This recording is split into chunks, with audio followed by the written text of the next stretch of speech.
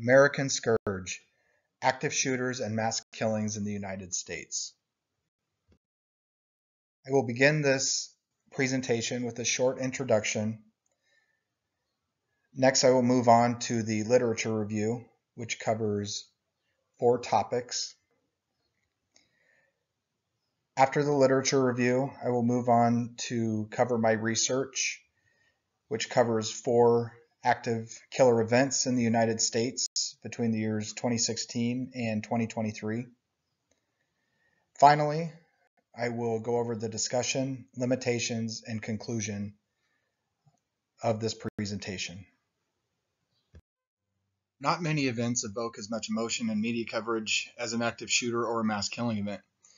These events happen all over the world, but America suffers these events more than any other country. This is not a new um, phenomenon, but the number of these events and the lethality of these events have increased drastically in recent years. Active shooter events can happen anywhere at any time, and there is not an exact profile as to who will perpetrate one of these crimes. Perpetrators have been bullied students, employees, or patrons who feel they've been wronged in some way, foreign or domestic terrorists, jilted or scorned lovers, people with mental illness, and more. There have been active shooters in malls, schools, hospitals, on government property, places of worship, open areas, and many, many others. These events take away our sense of security and lead to societal anxiety that is very difficult to overcome. Some of the most lethal, lethal active killer events in our nation's history have occurred in the last decade. Technology has made modern weaponry more lethal than ever before. These advances, as well as target locations chosen by the perpetrators, have increased the lethality of the events in recent years. A major factor in the increased lethality is the response by law enforcement. Law enforcement has had to change their tactics as this threat has continued to spread throughout the nation. Uh, historically, law enforcement would respond to the scene, secure a perimeter, and call for a tactical unit to come in and address the threat. This has proven to be the wrong way to address active killer events. The combination of time, ammunition, and available targets is what leads to large mass killing events. Police don't have control over the amount of ammunition the killer has or the number of targets at the scene, but they do have control over the amount of time the killer has to inflict uh, casualties.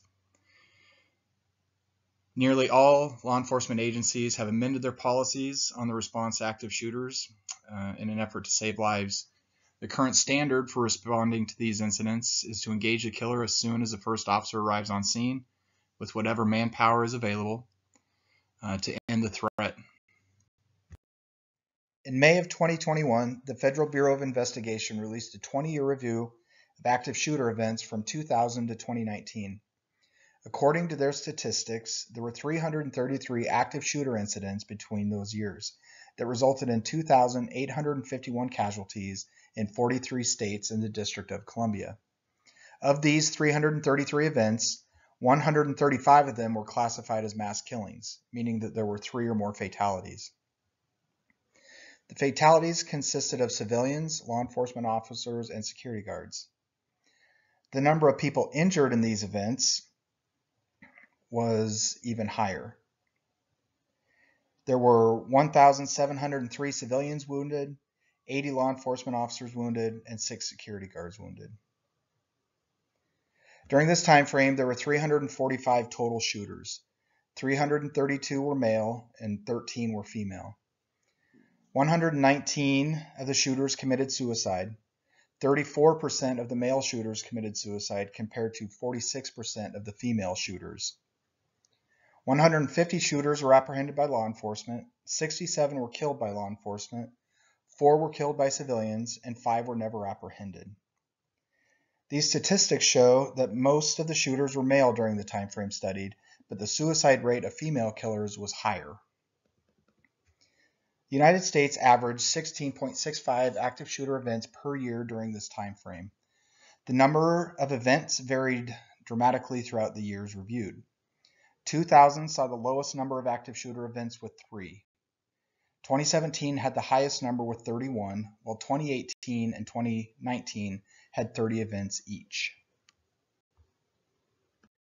The number of fatalities during the years studied by the FBI varied dramatically. The average number of casualties per year was 55.05. 2000 saw the lowest number of fatalities with 16, while 2017 had the highest number with 143. One reason 2017 had so many fatalities is because the deadliest active shooter event in U.S. history occurred in October of that year.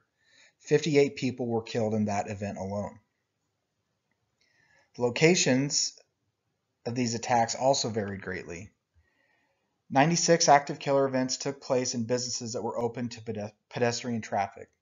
These businesses included restaurants, bars, theaters, grocery stores, event venues, and others. There were 62 attacks at schools, 44 at pre-K to 12th grade, and 18 at colleges. 21 attacks occurred on government properties and 9 took place on military properties. 15 attacks occurred at healthcare facilities. Additionally, there were 15 attacks in places of worship, 10 at malls, and 13 attacks at private residences. One postulation as to why there are so many active shooter events in America is because of Americans' access to weapons. Another possible reason for the high lethality rate of these events is because shooters are using assault rifles in the commission of their crimes. The FBI's 20-year review shows that handguns were actually the weapon of choice for most of these shooters. Handguns accounted for 67% of the weapons used in these events.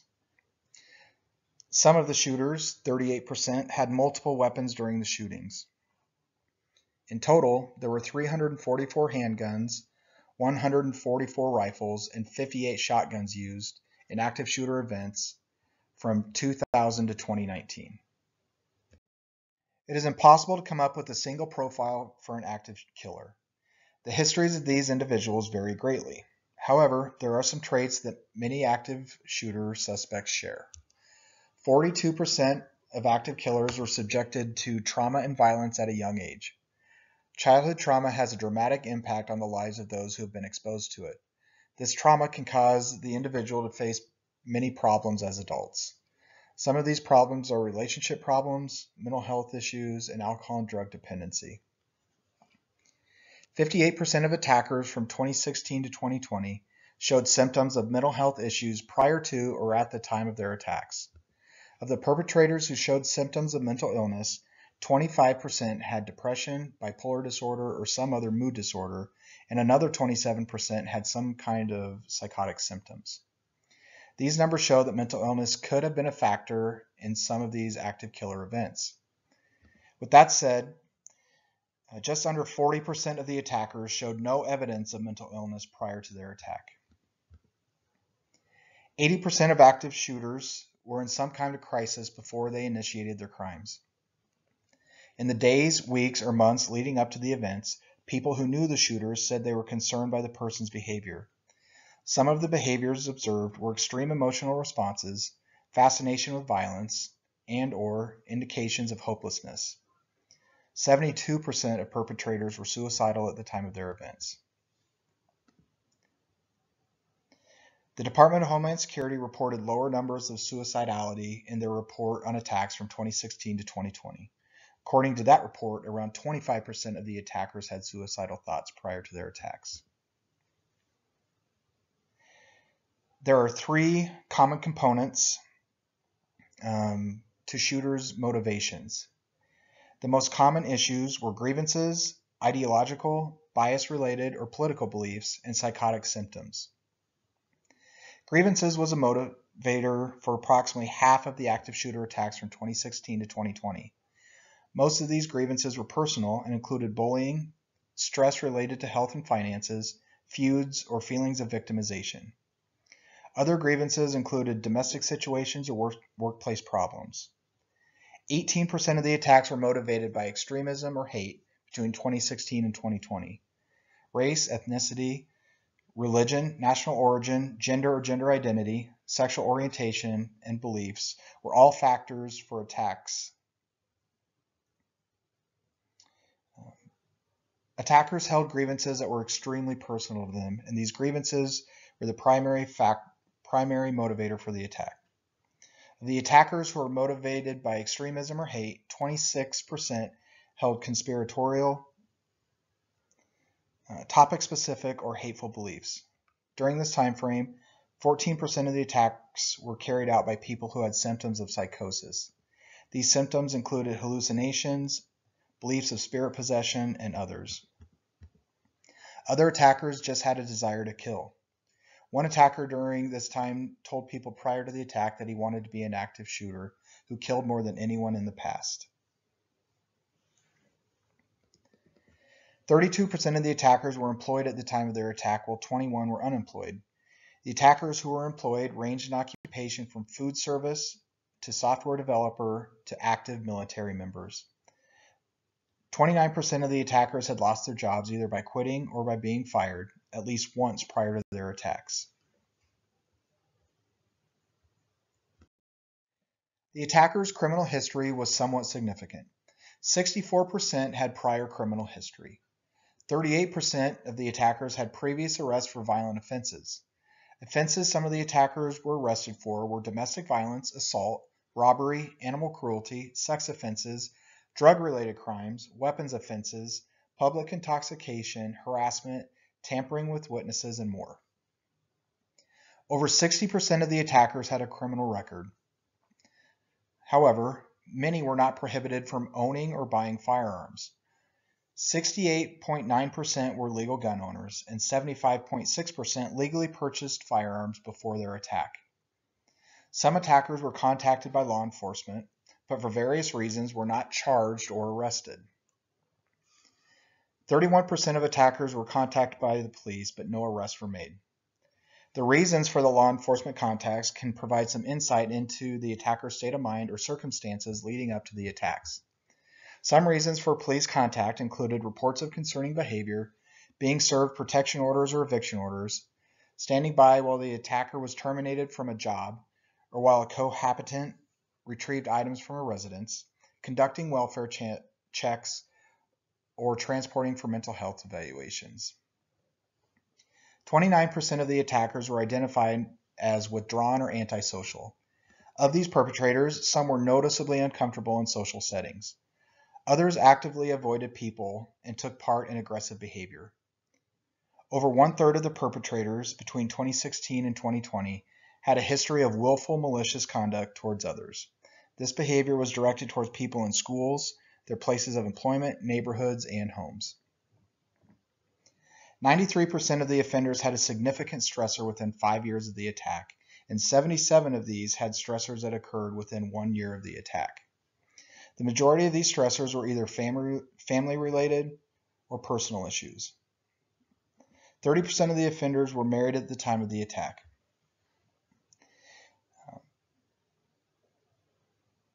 It was found that having a stable, intimate partner may have actually served as a protective factor against perpetrating an attack. Other stressors prior to the attack included contact with civil courts, employment issues, social interactions, health problems, police contacts, and education. The Department of Homeland Security identified eight types of behavioral changes that occurred in the attackers within five years of their attacks. These changes are mental well-being and mood, general behavior, uncharacteristic actions, appearance, work or school related, religion or beliefs, substance abuse, and positive change. Some kind of behavioral change or changes in these categories were seen in 38% of perpetrators within five years of the attacks. Mental health, well-being, and mood was the most commonly observed behavioral change in the offenders who attacked between 2016 and 2020. Withdrawal from family and or friends was the most noticeable change during this time. The offender became less social and stopped interacting with friends and family in the time leading up to the attack. Other factors involved behavioral change, including signs of depression, an increased level of anger, aggression, violent and threatening behavior, increased paranoia and delusional thinking, and declining overall mental health to include anxiety, dark moods, and emotional erraticism. Other than normal behavior um, was also observed. These included an increase or decrease in sleep, a change in eating patterns, more secretive, more argumentative, bitterness, and a loss of affection. The Department of Homeland Security found these general behavior changes and also included when the offender became unhinged, became increasingly disturbed or irrational, and acted strange, crazy, or otherwise different from their normal behavior. Uncharacteristic actions were actions that were previously out of character for the offender.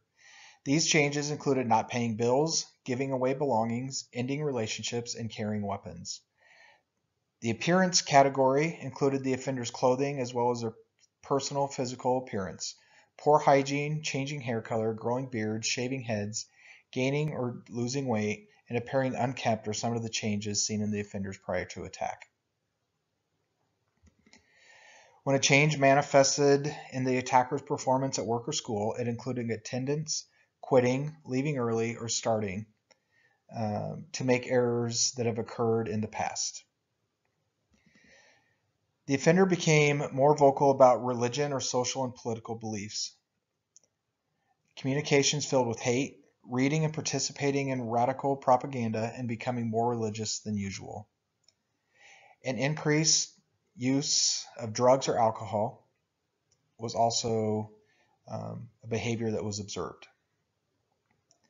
The positive changes category is the most counterintuitive of the behavioral changes. These changes actually appeared to be an improvement from the attacker's normal behavior. Some of these changes included being more easygoing and tolerant, improving grades, mending relationships, being more positive, being nicer, and other similar changes. On its face, these changes appear to be good, but five offenders from 2016 to 2020 exhibited these changes prior to carrying out their mass attacks. The, part, the, Department of Homeland Security noted that most of the offenders in their report showed one of two types of these changes, but 16 showed three to five of these behavior changes within five years of their attacks. The behavioral changes noted above would concern anyone who cares for or is close to the person exhibiting them, but not all would be willing to report the behavior to authorities. 76% of the attackers either showed behavioral changes or shared alarming communications before the attack that caused concern to people around them. The behavior was so extreme in 57% of the offenders that people around them feared for their safety, the attacker's safety, and the safety of others. These concerning behaviors were not reported to anyone with the ability to alter the behavior in 22% of the cases. This statistic is important to show that friends or loved ones who observe these behavioral changes need to reach out to law enforcement and mental health professionals as early as possible to help prevent these attacks. Most times, this behavior was observed by people who were closest to the attacker classmates, spouses or intimate partners, teachers, family members, or friends. Many times, since they had close ties to the attacker, the observers did not want to report the behaviors to authorities out of sense of loyalty, fear, or disbelief. Leakage occurs when the attacker provides some sort of clue to their state of mind or upcoming attack through a form of communication. Leakage can be very objective or and specific, or it can be vague and indirect. The indirect linkage is leakage is difficult because it might cause concern for the attacker, but it does not elicit fear of an imminent threat of harm. Leakage was common among both adults and adolescents, but it is more common among adolescents. 88% of perpetrators 17 years of age or younger leaked information regarding their impending attack, compared to 51% of adults. Communications were made verbally, through written statements or messages, through videos, drawings, or were posted online. 64% of the attackers who engaged in these concerning communications threatened violence. 34% made direct threats toward specific people or groups of people who would later be their targets. Approximately 13 attackers communicated they were going to attack very soon. Unfortunately, for some of these cases, the communication was sent minutes before the offender's attack and nothing could be done to stop it. In other cases, the communications were too vague for officials to take action to prevent the attack. 65% of the attackers' most recent alarming communication occurred within 30 days of the attack, and 30 37% of the attackers' last communication was on the day of the attack. 30% of perpetrators created legacy tokens. A legacy token is a communication prepared by the offender to claim credit for the attack and articulate the motives underlying the shooting. A legacy token can be a video, social media post, manifesto, or any other form of communication created by the attacker and left in an area where it was sure to be found near the time of the attack.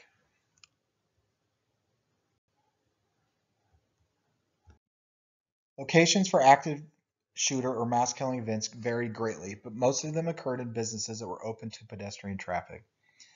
Businesses in this category include retail, bars, restaurants, offices, banks, gyms, salons, hotels, movie theaters, and shipping and receiving companies. 96 of the 333 active shooter attacks from 2000 to 2019 occurred in these type of businesses. This is not surprising due to the fact that most of these locations are soft targets and invite people to come and go with ease. They usually have minimal security, if any at all, and allow the offender easy access to the business and the targets. According to the FBI, 15% of active shooter events from 2000 to 2019 occurred in areas that were open air locations. As with businesses open to pedestrian traffic, these locations usually have minimal security or easily accessed by the general public. These areas also provide numerous targets for active killers who can either walk amongst them or they can target victims without having to be very close. This is what happened in the 2017 Las Vegas attack. From 2000 to 2019, there were 62 active shooter attacks in educational environments. These shootings occurred in schools ranging from preschool all the way to college campuses. In all, 179 people were killed and 239 were wounded during these attacks. As with the previous two types of locations mentioned, schools are soft targets. The United States Secret Service reports that most common motives for school shootings were grievances with peers, staff, romantic partners, or other grievances. It is therefore logical that schools would be the location these offenders would choose to initiate their attacks. The targets would be easy to find, and they would most likely not expect to encounter a deadly force situation in that setting. Along with that, aside from possibly one law enforcement school resource officer, it is likely no one would be able to stop the shooter before they are able to reach their intended targets. Besides the locations listed above, attacks also occurred at various other locations between 2000 and 2019.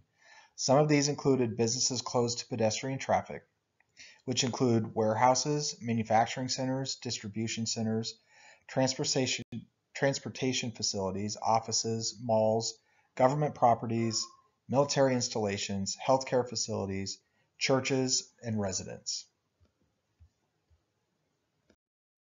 The National Threat Assessment Center found that 53% of the attackers had no previous affiliation with the location where the attack occurred. These attackers seem to have randomly opened fire at a location of opportunity. 37% of the victims were random. Other attackers apparently chose a location based on what it represented to the attacker or what the location offered as a service. The remaining attackers either chose a location because of their affiliation with it or because their human target or targets were located there. Some of these affiliations were directly related to the attackers. Examples are the attacker was an employee or ex-employee, a client or a customer, a former resident, or a current or former student. Examples of indirect affiliations include the attacking, the attack taking place at a family member's place of business or at the workplace of an ex-wife. 68% of mass killers did not direct their attacks at specific people. Instead, they chose to victimize random people. Upon reviewing the information, this statistic is less shocking when you consider that most of the random people were targeted because of their race, religion, gender, or ethnicity. This gives credence to the information provided earlier that some active killers are motivated by biases and hatred. Aside from the offenders who chose their victims based on biases or extreme beliefs, 32% of active killers plan their attacks with specific targets in mind. In these cases, personal grievances was a motivating factor behind the attack. These grievances included domestic situations, workplace issues, and other personal issues. The targets in these attacks were current or former romantic partners, current or former coworkers, and family members. Some attackers targeted targeted victims who had an affiliation with these people, such as ex-spouses, uh, current intimate partner, divorce attorneys, in laws, friends, or others with close ties to these people. Some of the nation's most lethal active killer events have occurred in recent years. The advancement of weapon technology has made it possible for these killers to expend more ammunition and inflict more casualties in a very short amount of time. As we will see, the actors in these events vary in age, race, and gender, and their motives are all different. Some of the perpetrators left significant clues about their plans prior to the event, while others didn't show any obvious outward signs of problems. In two of the incidents covered, there were links between the perpetrators and their target locations. The other two studied seemed to be chosen at random as an easy target of opportunity. The chaos these events create for police and how different agencies respond to the events will also be discussed. This section will put the information provided earlier in the presentation into perspective. The first event that we're going to talk about is the 2016 Pulse nightclub shooting.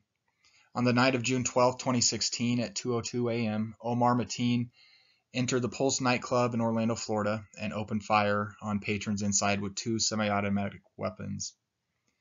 Uh, chaos ensued, uh, obviously, and police officers arrived on scene. Mateen eventually barricaded himself in a bathroom of the club um, with several other victims. He was contained in that location for the remainder of the incident. At 5:15 a.m., um, SWAT team members breached the outer wall uh, to the bathroom where Mateen was um, holding up, and a gunfight ensued. Mateen was shot and killed um, in that gunfight. The results of that attack um, were 49 dead and more than 50 wounded. Talking about Mateen himself, he was a 29 year old American citizen who was born to Afghan parents in New York. He had been investigated by the FBI two times previously, once in 2013 after he told some coworkers that he had ties to terrorist organizations, and again in 2014 um, after he was linked after someone that he was linked to became a suicide bomber in Syria. Um, there were no charges filed in either of those investigations, and nothing else was done.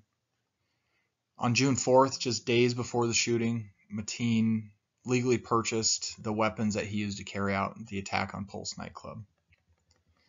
During the attack, Mateen actually communicated to several people um, his intent and pledged allegiance to ISIS. He called the um, Orlando 911 Center and told and pledged allegiance to the leader of ISIS. He also called a cable news channel and told the producer that he did it for ISIS. And again, um, during negotiations with the Orlando police negotiator, he told them that um, he was doing it for ISIS as well. The police did a forensic exam of Mateen's electronic devices after the incident, um, but found no evidence that um, ISIS had directed him to carry out the attack, and it was determined that he was a lone wolf, self-radicalized domestic terrorist. The target of Mateen's attack was Pulse, the Pulse nightclub in Orlando, Florida. Pulse was an LGBTQ plus bar in Orlando um, that actually catered to people as young as 18 years old. On the night of the shooting, there were approximately 300 people in the club celebrating a Latin night event. The club consisted of three bars, um, a main dance floor, and a fenced in area. The club was dark. Uh, it was lit only by strobe lights, and it was very loud because they had multiple DJs playing different music that night. It was so loud, in fact, that some people didn't even realize that shots were being fired um, when the first shots of the attack were, were fired. It wasn't until a DJ um, turned down his music after he heard something odd and realized that the sounds were gunshots and he yelled for people to run. Anybody inside the bar um, that night was a target of Mateen. Um, there was no one specifically that he targeted inside. Um, he targeted the bar, and uh, evidence suggests that he just um, decided on that that club um, just before the event started. The weapons that Mateen used in the assault were both semi-automatic. One was a Sig Sauer MCX um, 223 caliber rifle. Um, this is an assault style weapon that has a magazine capable of holding 30 rounds. He also had a handgun, which was a Glock 17 9mm. Uh, this weapon has a magazine capacity of 17 rounds. Both weapons, being semi-automatics, fire as fast as the shooter can pull the trigger, and so it makes for a deadly combination. The report noted that Mateen um, came in and fired as fast as he could pull the triggers. Um, with that said, Mateen could have unleashed up to 47 rounds of ammunition in just a matter of seconds before having to change magazines or reload his weapon. Along with those weapons, Mateen also claimed to have um, bombs and vehicles outside as well as um, vest bombs, which no doubt slowed the reaction of the police. Uh, however, after an extensive search, no explosives were found. The police response for this event um, actually happened rather quickly. Uh, however, once Mateen barricaded himself in the bathroom, it, it did slow down. The first officer on scene was actually an off-duty uh, police officer who was working. Uh, his duty for, for that night was to provide security outside of the club and provide any assistance to security personnel inside if needed. At 202, the officer heard the gunshots and notified dispatch that shots were being fired and he called for more more officers to respond. Um, this officer saw the offender shoot two people as they tried to leave the bar. Um, and when he saw these two people shot, he engaged um, the shooter by firing at him. After being shot at, Mateen went further into the club. At 205, that officer shot at Mateen for a second time, um, which pushed Mateen deeper into the club. Three other officers responded at the time, uh, or excuse me, arrived at the time at 2:06 a.m. and they immediately formed a team to go in and try to find the shooter. At 2:08, other officers arrived um, from Orlando PD as well as other surrounding jurisdictions, and they formed a second contact team. As they were creating that team, the second team, um, the first contact team made entry into the club from the fenced in outdoor area. This team began to rescue victims while the second contact team entered through a broken window and went towards um, the main dance floor.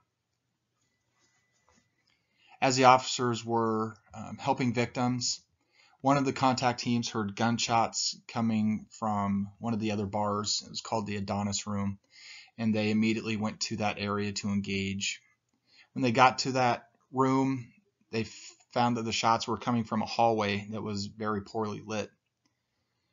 Um, as soon as they got into that room, the gunshots ended. So the team set up a containment position in the hallway to prevent the shooter from coming back out. The 911 center received a call at 2:10 a.m. from one of the hostages that said that the shooter had barricaded himself in the bathroom. At that point, um, it was decided that this was more of a hostage situation um, because Mateen was barricaded and the SWAT team initiated a full SWAT call out.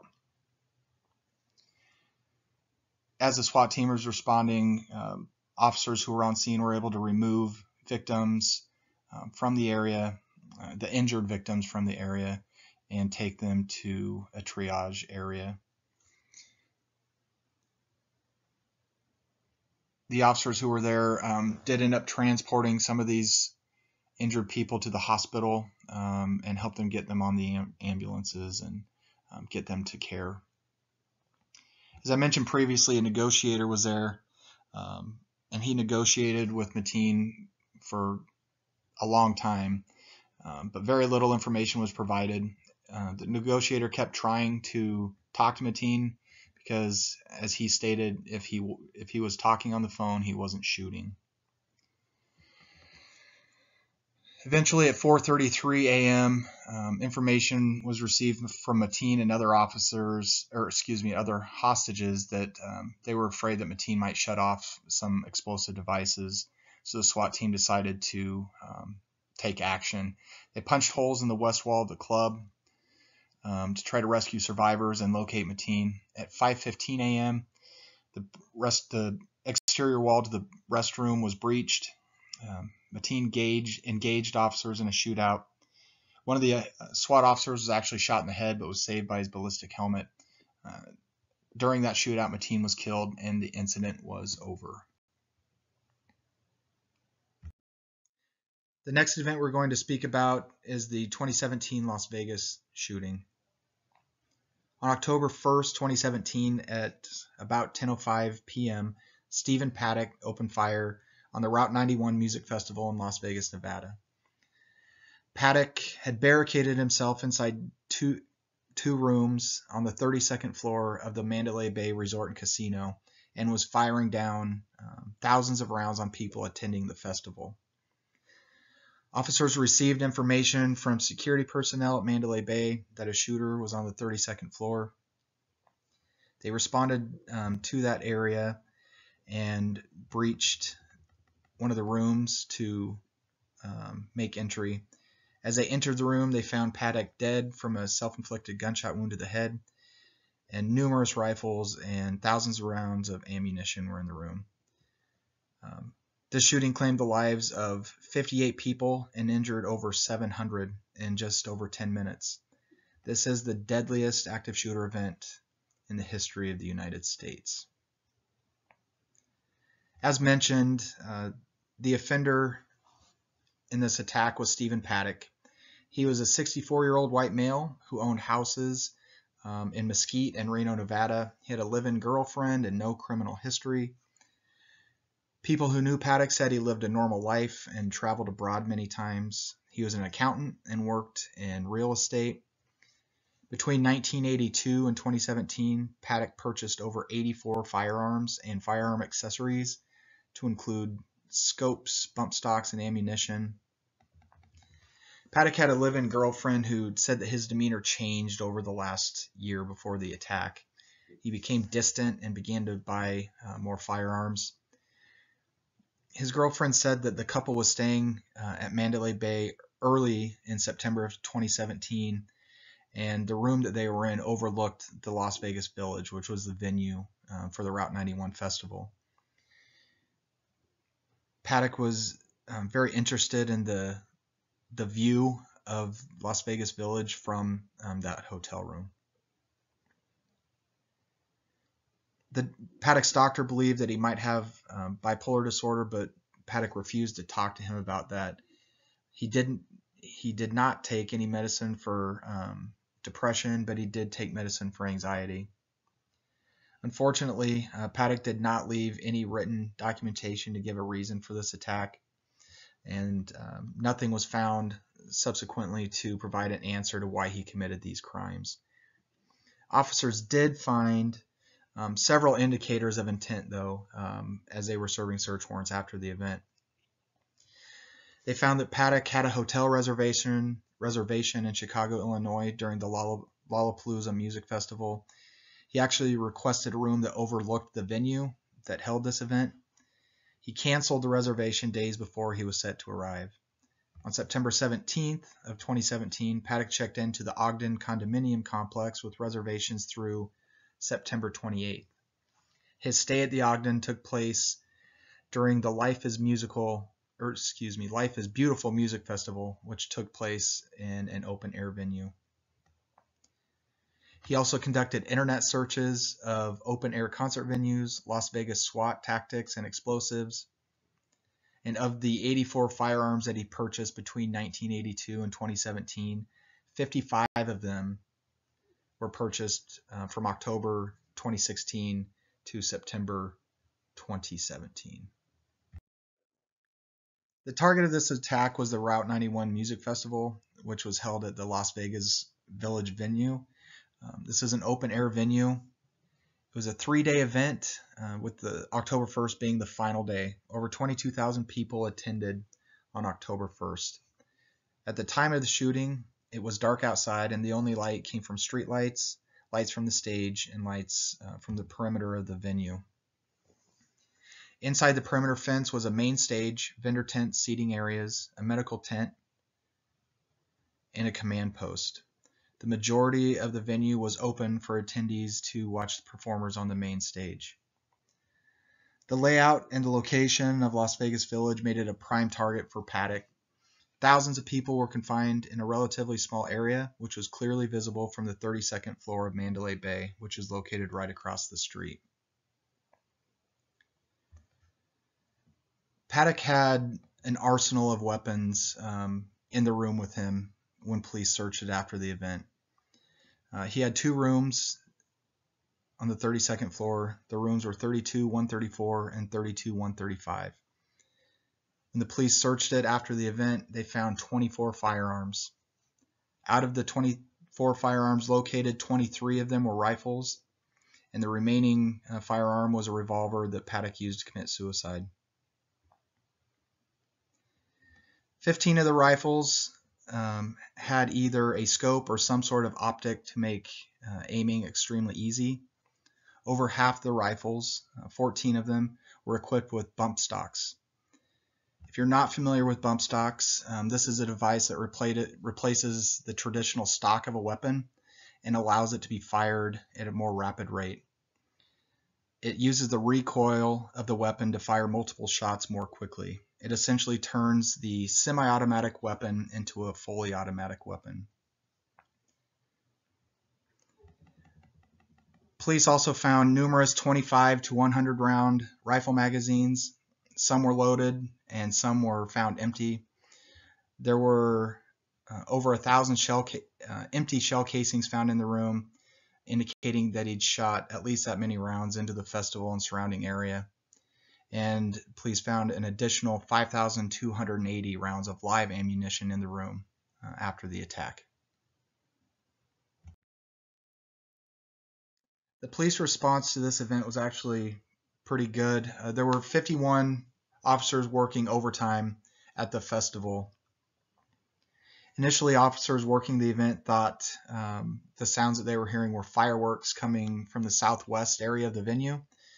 But um, shortly after these initial shots, officers heard long bursts of automatic gunfire and they began searching the venue for uh, the shooter. In the meantime, there happened to be two officers uh, in the security office of Mandalay Bay dealing with uh, an unrelated call. These officers heard the call of an active shooter at the festival across the street but they also received a report from Mandalay Bay Security that shots were being fired in room 32135 uh, at the hotel. These officers and two armed security officers left the security office to go um, investigate this. In the meantime, down in the venue, officers at Las Vegas Village continue to direct attendees toward exits or places of cover. One of the officers working the venue believed the gunfire was actually coming from an elevated position, so he grabbed some binoculars from his vehicle and began scanning the north side of Mandalay Bay. As he was scanning, he observed a silhouette of a man in a shooting position on the upper floors of the building and saw smoke coming from a gun. Back at Mandalay Bay, uh, the officers who were responding to the report of the shots fired uh, reached the 31st floor and heard shots being fired from the floor above them. They proceeded to the 32nd floor and posted up on a door to prevent the shooter from escaping. By this time, there were numerous uh, officers responding to the area um, to assist. Some of the responding officers moved, moved toward cover uh, behind police vehicles um, and they began taking gunfire. Two officers were shot at this time, one was shot in the neck and the other was shot in the bicep. The bullet that hit the officer in the bicep continued through his body and ended up in his chest. As the officers took cover behind the vehicles, they noticed the shots were coming from an elevated position. Officers on the ground began uh, forming strike teams and they went to Mandalay Bay. They coordinated with Mandalay Bay security and other officers to find out where the shooter was located. When they arrived on the 32nd floor, they uh, began entering and searching rooms. Um, at this point, the gunfire had stopped, so uh, this search was very methodical um, to try to get innocent people out of there. Eventually, they were able to find um, a door that had been braced shut by Paddock before the attack. Officers breached this door and were able to see the doors to room rooms 32 134 and 32 135. The doors were shut and there was a room service cart in front of door 32 134. There were wires um, coming from this cart into the room and the officers believed that there might be some sort of explosive device. They decided to breach the door of 32 135 with an explosive breach. When they did that, uh, the door opened and officers could see a rifle laying just inside the door. They called out, but they didn't get any response from the room, so they decided to enter. As they entered the room, they split into two teams and cleared the rooms. This time, uh, Team 2 found Paddock lying on the floor, um, dead from a apparent self-inflicted gunshot wound. No one else was located in the room, but they did find numerous weapons, live ammunition, and um, thousands of spent rounds. That was uh, the conclusion of the Mandalay Bay Las Vegas shooting. The third incident we're going to talk about is the 2018 Marjory Stoneman Douglas High School shooting in Parkland, Florida. On February 14, 2018, Nicholas Cruz arrived at Marjory Stoneman Douglas High School. Um, he gained access to the campus through an unlocked and unmonitored gate, and he went to Building 12, which also had an unlocked and unmonitored front door. Cruz entered uh, the building um, and then proceeded to walk around all three floors of the building, fire indis firing indiscriminately into classrooms and down hallways. After shooting 34 people, he left the building and ran across campus where he blended in with other students leaving the school. Luckily, he was located one hour and 16 minutes after the shooting began and was taken into custody. In all, 17 people were killed and 17 were wounded. The offender in this uh, attack, as I mentioned, was Nicholas Cruz. He was a 20, er, excuse me, he's a 19-year-old former student of Marjory Stoneman Douglas High School. Cruz showed violent behavior um, from a very early age, as young as young as three years old, and this behavior occurred regularly throughout his life. There were 69 documented incidences, or excuse me, incidents where Cruz had threatened someone, engaged in violence, talked about guns or weapons, or engaged in other concerning behavior. Although he exhibited this behavior, he'd only committed minor crimes and he'd never been charged with a crime, and he had never been charged with a crime prior to the shooting. Uh, he did make some social media posts um, that had him with weapons. There are also pictures of him holding dead animals. In one of the social media posts with him with a weapon, um, there was a statement that was similar to, I'm going to get this gun when I turn 18 and shoot up the school. One student actually joked with his classmates before the attack that Cruz would become a school shooter after he saw um, a social media post of Cruz um, after he killed a duck with a tire iron and posted it. Cruz made many statements uh, to several people about shooting up the school uh, over the years, but few of these statements were actually reported to law enforcement until after the shooting, and the few that were uh, reported were not acted upon by police. Prior to the shooting, the FBI actually actually received two tips that were very concerning um, about Cruz's behavior. The first tip was from someone in Mississippi who saw a YouTube video posted by user nicholas.cruz. In this video, the user said, I'm going to be the next school shooter. The tip was not followed up on because the FBI decided there wasn't enough information to identify the person who posted the video. With that said, the FBI also did not serve any legal paperwork to YouTube or Google or anyone else to request any user information on that account. The second tip um, came in on January 5th, 2018 by a friend of the Cruz family. The caller was very concerned about a post made by Cruz and believed that he would follow through on his threats to become a school shooter. The caller provided details of Cruz's gun purchases, the dismembering of animals, his temper issues, and all the usernames for his social media platforms. They also provided the FBI with the address and phone number for the family that Cruz was staying with at the time, but the lead was closed as having no value.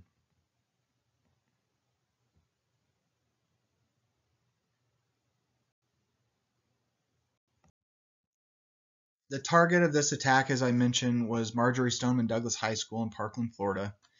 The campus consisted of 14 buildings on 45 acres of land.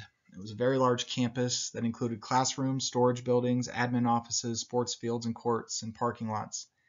At the time of the shooting, there were over 3,000 students and over 200 staff members on campus. The student entrance um, doors were usually closed, however, they were unlocked and they were unstaffed. There were nine pedestrian grate, uh, excuse me, gates to allow entry into the exterior fence of the campus, but these gates were left unopened and unstaffed before school and around 2.15 in the afternoon for um, to allow students to leave campus. Like I mentioned, Cruz had been a student at the school and likely knew that the gates were left open and unattended. The attack itself occurred in Building 12. Building 12 is a three-story building that had 30 classrooms. At the on the day of the attack, there were approximately 800 people inside. The exterior doors to the building were metal, but they were unlocked during the day due to the number of students coming and going from the building. Doors to the classrooms themselves could not be locked from the inside and could only be secured with a key on the outside of the door. The classrooms had marked uh, hard corners, which were designated areas that were out of the line of sight from windows in the classroom. Unfortunately, many of these areas were blocked by furniture or were too small to accommodate every student in the room. During the attack, Cruz did not enter any of the classrooms and only shot people he could see uh, from the doors. So the lack of these hard corners likely caused uh, more students to be injured or killed. Cruz did not target specific people in this attack. He stated his intention was to become the next school shooter. Um, his knowledge of the school and its lack of security features allowed him to carry out the, the attack, killing 17 people. There was one security feature of the school that probably saved lives.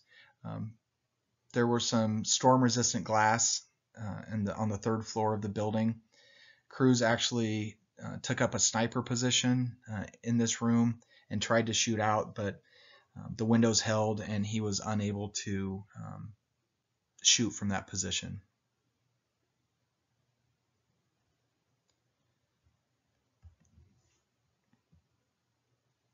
Unlike um, many of the other offenders that we've talked about, um, Cruz only had one weapon in his attack. Um, but like the other offenders, it was a semi-automatic rifle. His was a Smith & Wesson MP15.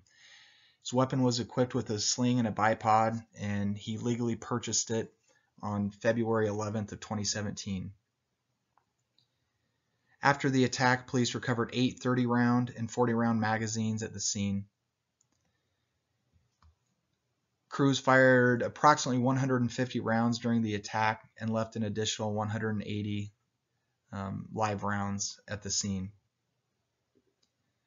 Cruz had never been charged or convicted of a criminal offense, so he was not pro- so he was not prohibited from purchase, purchasing or owning weapons. Although he'd never been convicted, there were numerous warning signs regarding his behavior and his plans. Several of these actions could have resulted in the judicial system getting involved and possibly removing his access to firearms this failure uh, also prevented him from getting court-ordered treatment that could have addressed his behavior prior to the prior to the attack.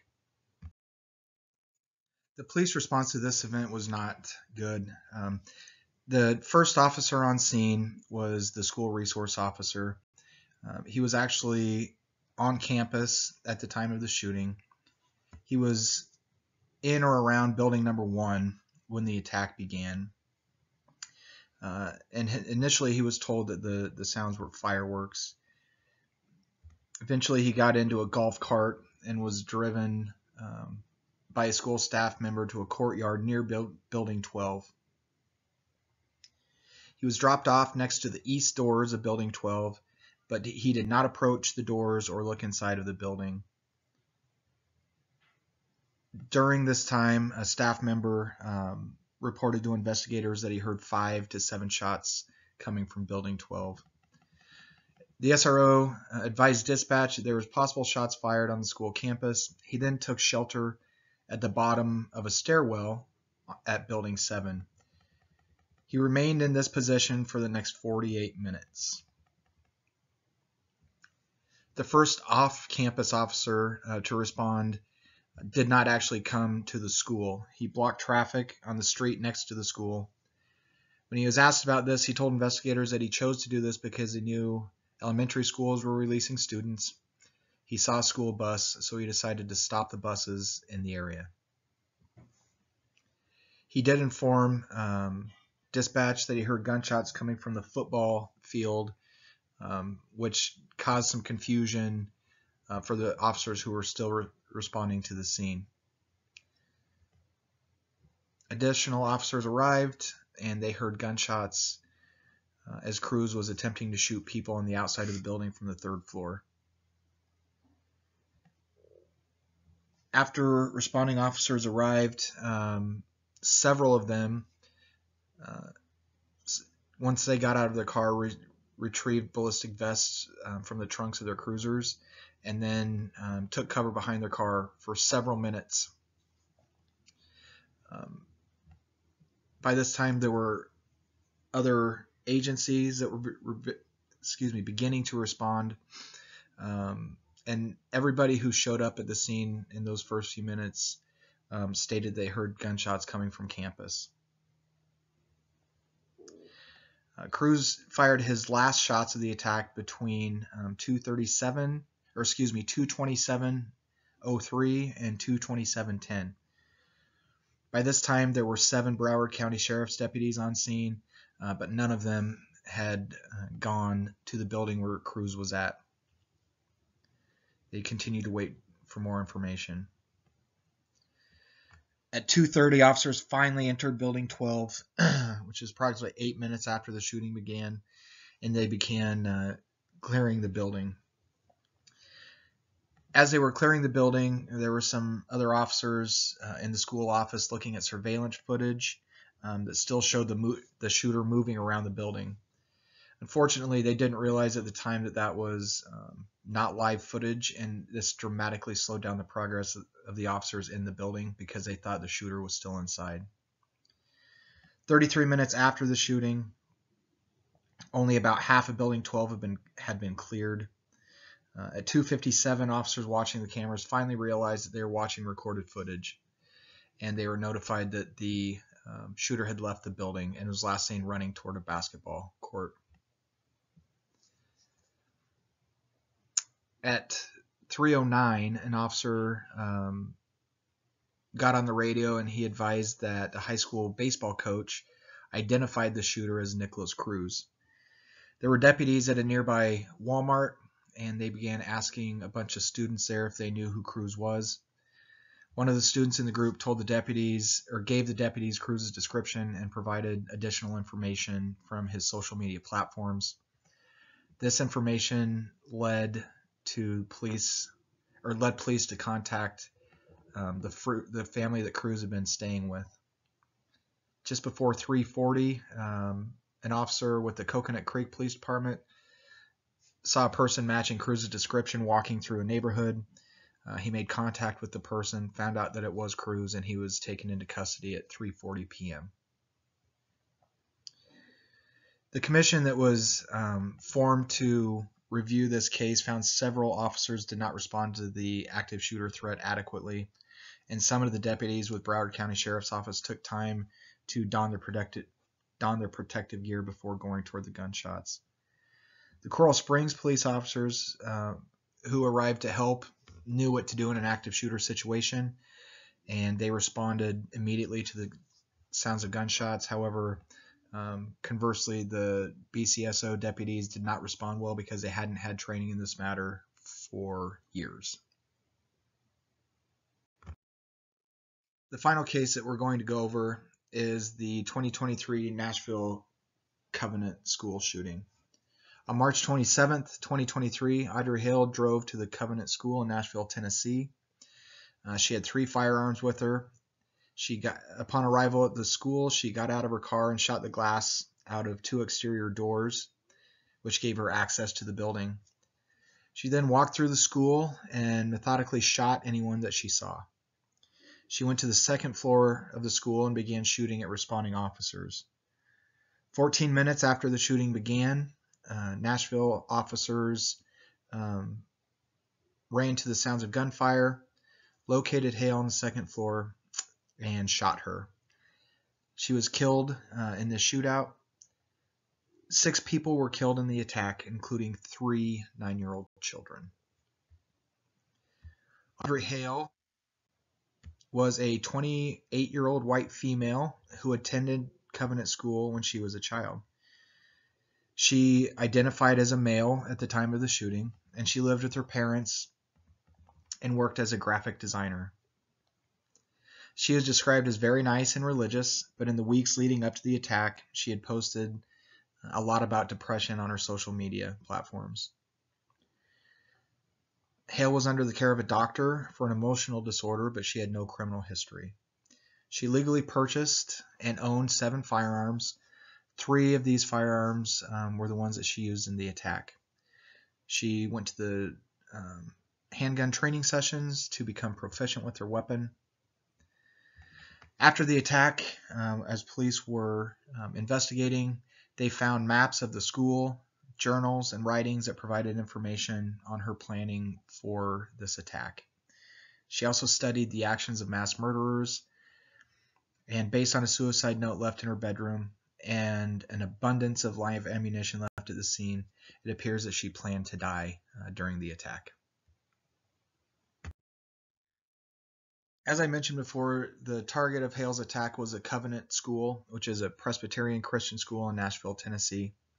The school has 200 students um, from preschool to sixth grade, and as I mentioned previously, Hale attended the school when she was young.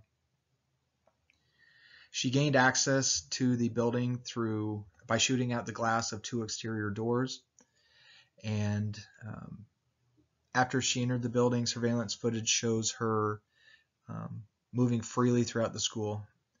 She is seen opening several unlocked doors looking for victims. Police have stated that there's no evidence that the victims of the attack were specifically targeted, but the school itself was her target. They do have more writings that they found um, during their investigation. However, they have not provided any information on her specific motive for the attack. Hale used three firearms um, during her attack. These included an AR-15, a Keltec sub 2000 9mm carbine, and a 9mm Smith & Wesson semi-automatic handgun. She had 30 round magazines for the AR-15 and the carbine. The amount of ammunition she carried indicated that she was prepared to kill as many people as she could, but her killing spree was cut short due to the quick response of the police. In all, Hale fired 152 rounds. All the guns um, that she owned were purchased between October 2020 and June 2022. Her parents didn't think she should own weapons because of her emotional state. However, um, she had no criminal history and was not prevented from legally owning weapons, which we've seen a few times in this presentation. she was not a threat to herself. At least there was no indication that she was a threat to herself or anyone else prior to the attack, so she did not meet the standards to have her weapons taken away under Tennessee's red flag law. Hale's attack on Covenant School lasted approximately 14 minutes. The first call uh, of an active shooter came in at 10:13 a.m. Officers arrived the first officers arrived on scene at 10:24 a.m. Um, this first officer quickly retrieved his patrol rifle from the trunk of his cruiser and then contacted school staff um, who provided him with extremely valuable information um, that was as up to date as they could get at the time. Um, these first arriving officers didn't hesitate or wait for more officers to arrive before entering the building. They entered the school and quickly began to search for the killer. Body camera footage from officers on the scene show them clearing uh, rooms as they as they make their way through the building. They continue to clear the building until they hear gunfire.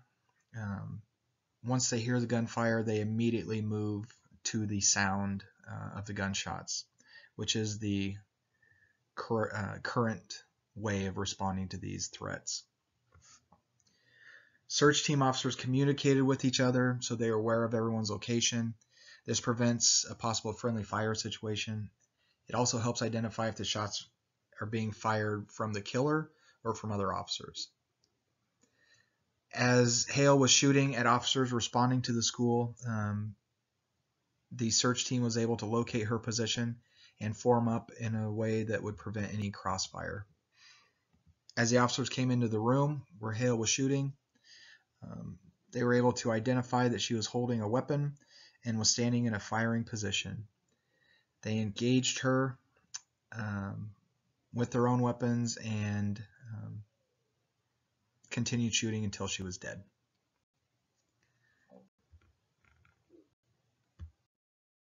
This study analyzed case studies and statistical data to analyze active shooter and mass killing events in the United States.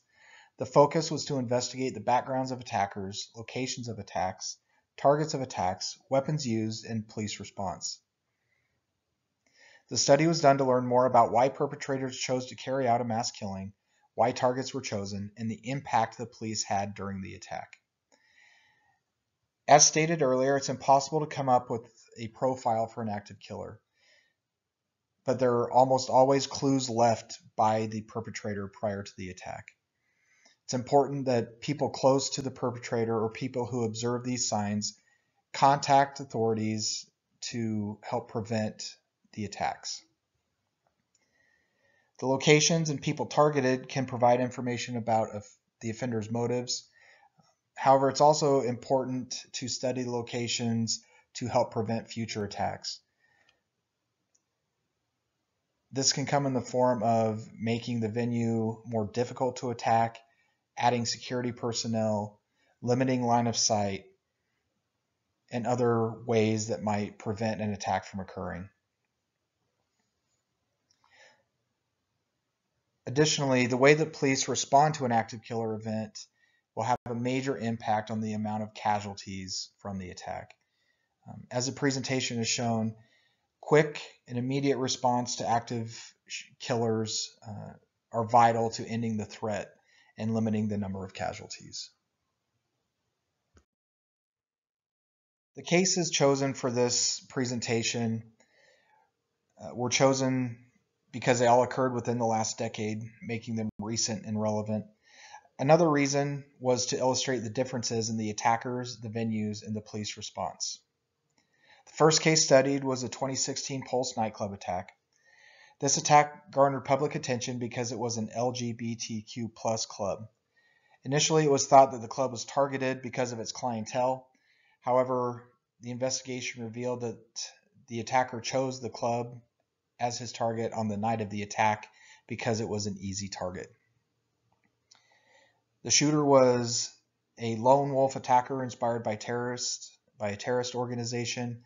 He had been investigated by the FBI two different times. Uh, however, he was never arrested or charged with any events, or excuse me, with any crimes. Uh, the police response to this attack was unique from many other active killer events um, that have occurred. The event started as an active shooter response. The initial officer who was at the scene engaged the target immediately, and the first responding officers immediately uh, went into the club to try to locate and neutralize the shooter. However, uh, the perpetrator was able to barricade himself in a bathroom and with hostages. When this occurred, the scene changed from an active shooter response to a barricaded armed suspect with hostages. At that point, the SWAT team took over control of the scene and executed their mission as they would with any other barricaded subject. Officers on the scene held the perimeter and helped triage and remove wounded individuals while the SWAT team tried to negotiate with the shooter. Um, however, ultimately, a gunfight ensued and he was killed. The second case studied was the 2017 Las Vegas Route 91 Harvest Festival shooting. This is the most lethal active killer event in U.S. history, which is one reason the case was studied. The shooter was armed with a stockpile of weapons equipped with optics and bump stocks, which allowed the semi-automatic weapons to fire more rapidly. Uh, he opened fire on an open-air venue from an elevated position. Over 22,000 people attended the concert on the day of the attack. The shooter had no criminal history and had legally purchased all of his weapons over the years. Police were unable to find a motive for the attack during the investigation. The shooter did not leave any sort of correspondence or manifesto or anything to indicate why he attacked the concert.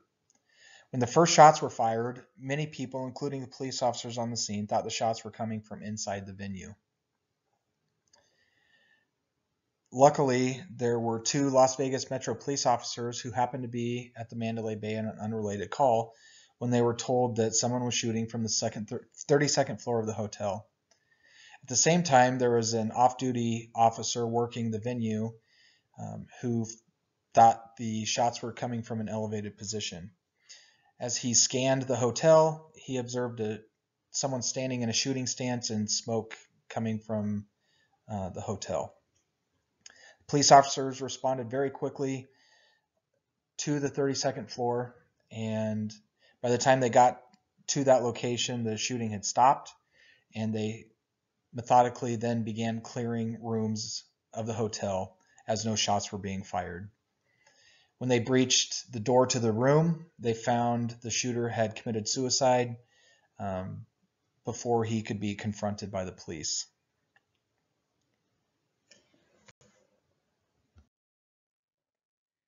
The third case studied for this presentation was the 2018 Marjory Stoneman Douglas High School shooting. This case was chosen for a couple of reasons. First, there were many missed opportunities to prevent this attack. The shooter, a former student at the school, had a history of violent behavior. He told people and made social media posts that he was going to be the next school shooter. Prior to the shooting, the FBI received two tips that could have led to an intervention. Neither of these tips were properly investigated. There were many other indicators and information that could have led authorities to remove this, the shooter's weapons and possibly get him help that could have prevented the attack. However, nothing was done. Another factor in choosing this case was the police response. In short, it was ineffective. The school had a school resource officer on campus at the time of the shooting. This officer failed to respond to the threat and was found hiding under the, some stairs after the shooting. Additionally, Many other responding officers did not go to the sound of gunfire, but instead took time to retrieve body armor and then took cover behind their cruisers, never going to stop the threat. Communication issues were also a problem. Different agencies responded and they were unable to communicate with each other. There was also incorrect information, information being transmitted by people on scene, which only made the chaotic situation more confusing. The venue itself was a large school with 14 buildings. The attack took place in building number 12, which was left unlocked on, unlocked on the day of the attack. None of the classroom doors were locked at the time of the attack. However, um, the shooter did not enter any rooms. He shot through the doors um, and windows of the building. Um, the shooter was able to escape the scene by blending in with fleeing students and was apprehended a little over an hour after the last shots were fired.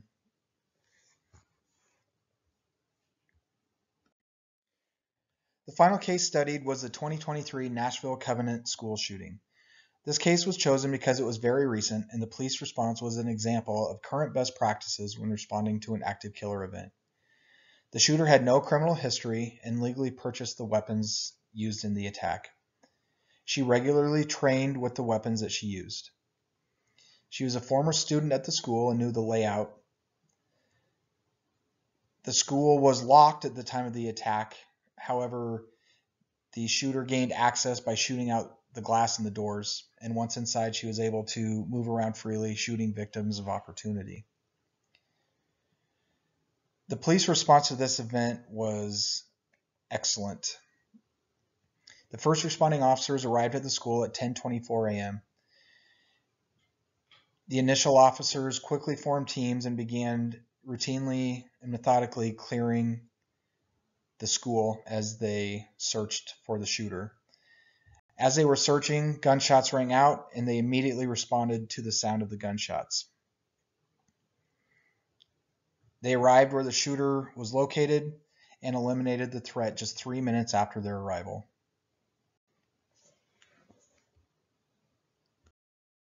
Data collected in this study correlates with previously collected data on the active killer phenomenon in the United States. The information reiterates information obtained in the literature review. A few specific statistics stated in the literature review are brought to the forefront in this study. First, active killers' motives vary. The Pulse nightclub attacker was motivated by extremist beliefs, while the Las Vegas, Las Vegas shooter's motives remain unclear to this day. Marjory Stoneman Douglas High School shooter displayed a propensity for violence all his life, and his goal was to become the next school shooter. Another statistic revealed in the literature review is that most active killers are male, but there have been female attackers. The shooter in the Covenant school shooting in Nashville was a female. Information obtained in the lit review stated that there is usually a link between the attacker and the target location. This was a case in two of the shootings studied, Cruz and Hale were both former students at the schools they attacked. Additionally, some targets are chosen to create the largest death count as possible. This appears to be why Paddock chose the, to attack the Route 91 Music Festival from an elevated position. One variation from the literature review was that handguns were used in 67% of the attacks from 2000 to 2019. In the cases studied, semi-automatic rifles were the weapons of choice. Mateen and Hale used handguns in their attacks, but Paddock and Cruz only used rifles. 58% of attackers from 2016 to 2020 showed symptoms of mental health issues prior to or at the time of their attacks. Three of the four attackers studied in this report showed signs of mental health issues. The only, only perpetrator who didn't present evidence of mental health issues was Mateen, who was motivated by extremism. All four perpetrators in this study legally purchased their firearms before the attack.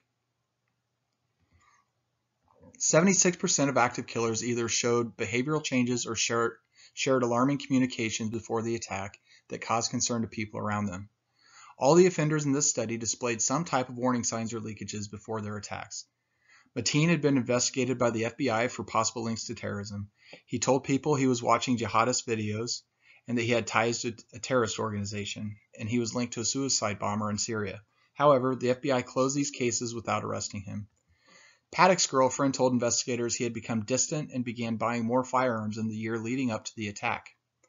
Cruz had a history of violent behavior and made many statements and social media posts about becoming a school shooter. The FBI received two tips from people concerned by Cruz's behavior, but no follow-up was done and the cases were closed without any investigation. Hale left a plethora of information behind detailing her plan to attack the Covenant School, but none of this information was found until after her attack. She also sent a suicidal message to a friend right before she carried out her attack. Her friend called the police, but the attack was over before she was able to speak with anyone. This study was greatly limited by the number of cases researched. According to the FBI, from 2000 to 2019, there were 333 active killer events that resulted in 2,851 casualties. This study covered four of these events, which is only 1.2% of all events listed by the FBI. Another limitation to the study is that two of the events researched were school shootings. As covered in the literature review, school shootings only account for a little more than 18% of active killer events during that 20-year time frame. A thorough investigation of a larger number of these events would be beneficial for future research to get more relevant data on the topic.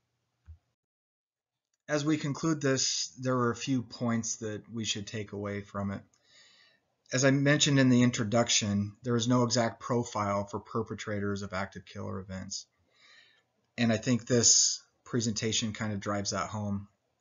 The offenders in these events range in age from 19 to 64 years old. And although a majority of active killers uh, are male, one of the attackers covered here was a female. Every one of the shooters reviewed showed warning signs prior to their attacks. Some of these warnings were very obvious and others were more subtle. Mateen was investigated by the FBI on different occasions prior to his attack, but those cases were closed with no action taken. In the case of Cruz, different people reported his behavior to authorities, but no one took the time to follow up on any of these complaints. None of the offenders that we learned about today studied or had a criminal history serious enough to prevent them from purchasing or owning firearms, and they all were legally able to purchase the weapons that would later be used in their attacks. The targets um, that we covered today also show that it's not easy to predict where an active killer event may occur. Two of the targets, the high schools were, or excuse me, the schools were clearly targeted by former students, and the other two seemed to be chosen at random due to their easy access to targets. These randomly chosen targets um, show how difficult it can be to prevent a mass attack if the perpetrator is resolute in their plan. Schools do have the ability to make themselves a harder target if safety protocols are in place and if they are enforced. The attack on Marjory Stoneman Douglas High School would have been much more difficult to execute if the gates on the exterior of the campus and the doors to the buildings were locked and monitored. The offenders in these cases um, used at least one semi-automatic rifle in their attacks, and all of the weapons, like I said before, were legally purchased. Modern technology allows the perpetrators to discharge large volumes of ammunition that increase the lethality of these events. The attacker in the Las Vegas shooting had his weapon equipped with optics to help him accurately hit targets from long range. He also had bump stocks on many of his weapons that increased the rate of fire to inflict more carnage during the attack. Along with that, all the attackers carried large amounts of ammunition, which made clear their intent to inflict mass casualties at their chosen locations.